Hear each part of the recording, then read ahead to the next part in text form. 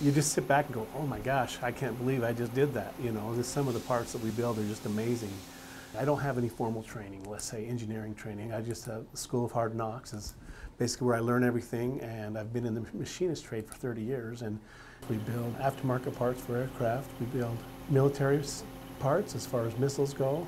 In the past 10 years we've been using FeatureCam and it's just changed how we do everything. I can run the business, I can program the part, I can go run the part, I can do everything all within a couple hours and have it done, have the part totally done. It makes you uh, really creative. It gives you ideas. I'll use feature recognition to start with, then I'll go back and see how feature recognition did it, and then I'll make a few adjustments. It's killer.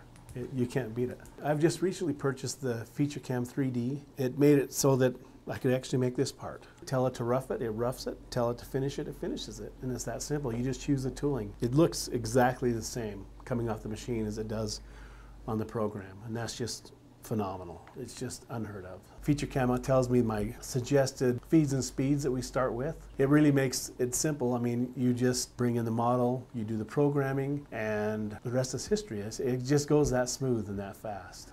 You know, I can be programming two or three different parts at once while I turn it over to my machinists and they can go out and run the product. It allows me to handle my paperwork issues.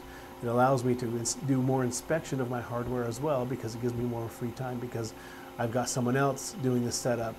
That really helps as far as the bottom line.